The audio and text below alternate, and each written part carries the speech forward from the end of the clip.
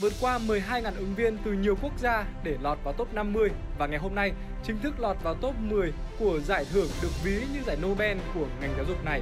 Với cô giáo Hà Ánh Phượng, đây là một vinh dự lớn lao. Khi mà nhận được tin này thì bản thân mình cảm thấy rất là bất ngờ, hạnh phúc và xúc động.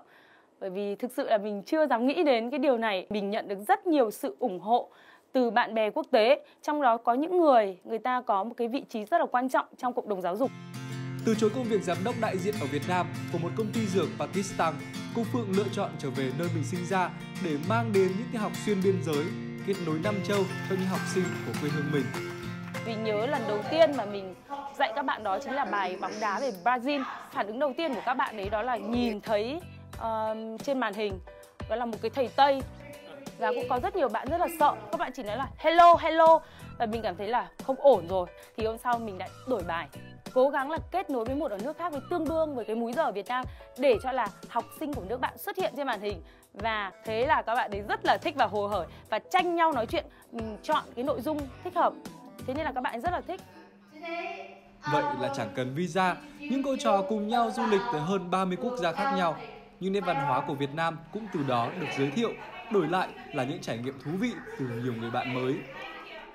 Đất nước tôi khá nổi tiếng về công nghệ thông tin, nhưng tôi rất bất ngờ khi các bạn học sinh dân tộc miền núi của cô Phượng lại có thể sử dụng công nghệ hiệu quả như vậy. Hello! Hi! Không chỉ dạy cho học sinh của mình, cô Phượng còn dạy học trực tuyến cho trẻ em tại khu ổ chuột ở Ấn Độ, Nam Phi và California, Mỹ.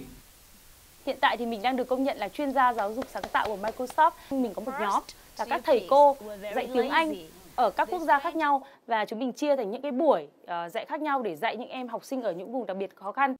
Em thật sự rất yêu thích những hoạt động trong các tiết học tiếng Anh và những dự án của cô. Với em, cô Phượng là một người chuyên cảm hứng. Giờ đây, cô giáo Hà Ánh Phượng trở thành niềm cảm hứng học tập của những học trò ở quê hương mình. Những hoạt động ngoại khóa, những dự án về môi trường, trang YouTube dạy tiếng Anh miễn phí và cả những sự quan tâm cho thế hệ tương lai với tình yêu quê hương, cô giáo Hà Ánh Phượng sẽ mang hết tâm huyết vì tương lai tươi sáng hơn của những học trò vùng cao.